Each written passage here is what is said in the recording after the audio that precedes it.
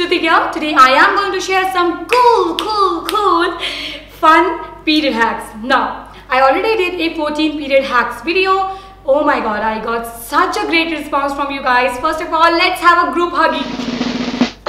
Thank you guys for such a great response to my last 14 period hack. So I thought, why not to create another one specially meant for teenagers. So let's get started. For more fun videos like this one in future, don't forget to hit on that red subscribe button and also hit on that bell button to get a notification on your mobile app that I uploaded a video. Also, don't forget to comment below and let me know at which date you got your first period and where were you when you got your first period. If you're new to periods and you don't know how to select a perfect pad for yourself, then you just go to the market and you try to sneak out and just read all the information and feels like that everybody is just watching me.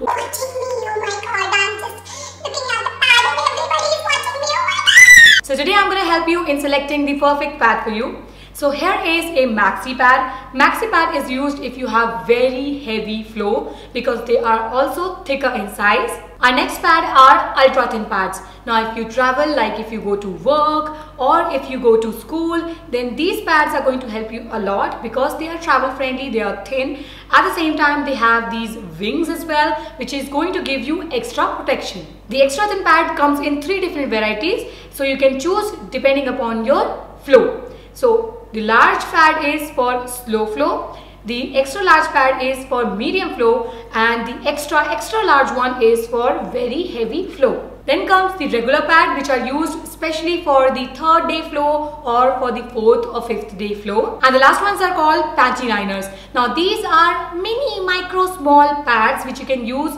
for spotting. Now if you know that your periods are coming you can start using them and you will avoid the spotting as well.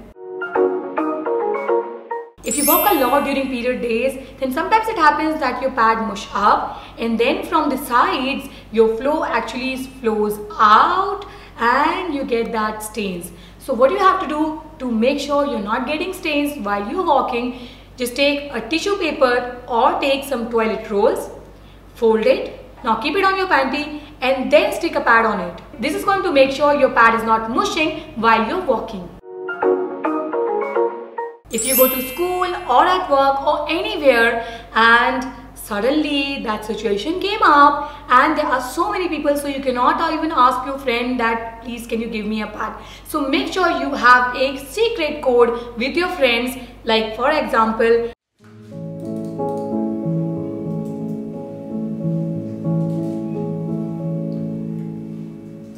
Yeah, Shipra, uh, pencil hai kya? Hmm? Hmm, nahi hai.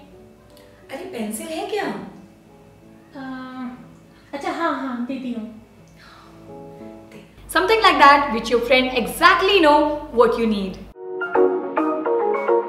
If you have low or normal flow and you visit the bathroom and you feel like hmm, it has been only 8 hours so I can go forward with more 4 hours with this pad, don't do that because after every 6 hours your pad started decaying and it start creating bacteria and fungus in it which also create bad odor.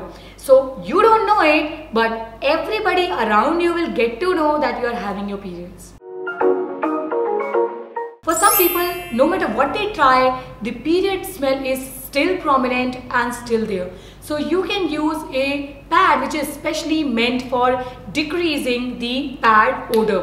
Like this one from Whisper. It is really great. Try it once girls. I'm telling you, trust me, it's a really good one. If you get bad cramps or pain, then last time I told you to use a heating pillow.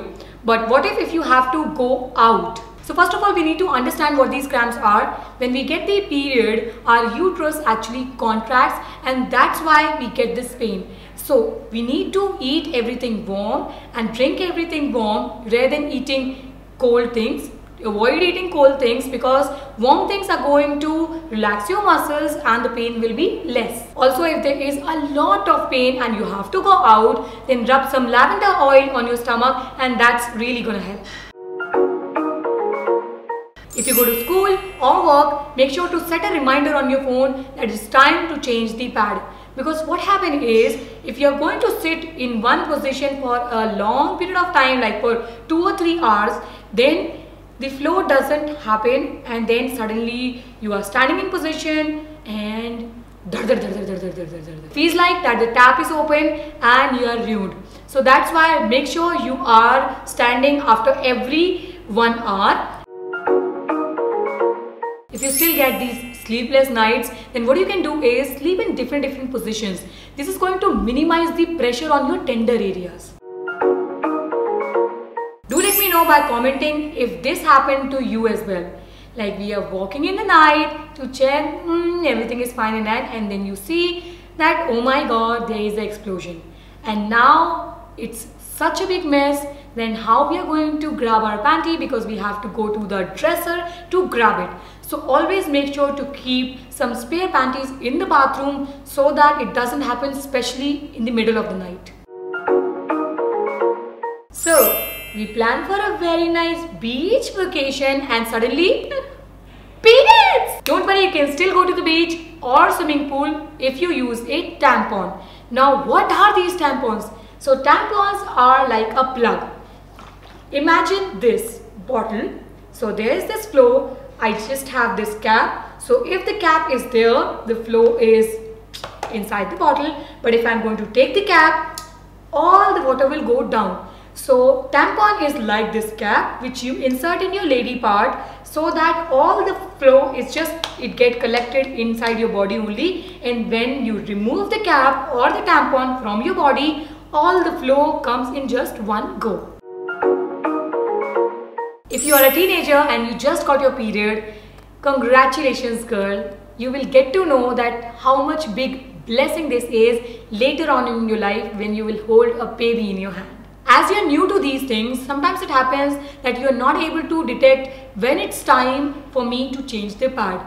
All you have to do is just check the sticky part of the pad and that is going to tell you how much pad flow or period flow or blood is there in your pad and then you can decide whether you have to change the pad or not.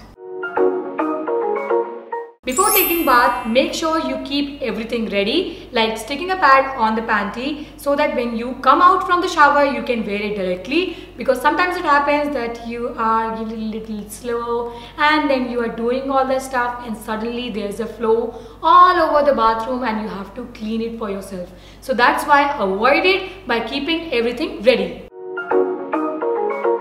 Don't forget to pack an extra panty and a shirt if you go to work or school because sometimes it happens that no matter how hard you try you still get the stain. So you can use this shirt to hide that stain mark. So that's it for this video girls. If you are new on my channel then don't forget to hit on that red subscribe button to subscribe me and i will see you guys in the next one. Thanks a lot for watching this video and have a happy period. I will see you guys in my next one. Thanks a lot for watching. Take care. Bye bye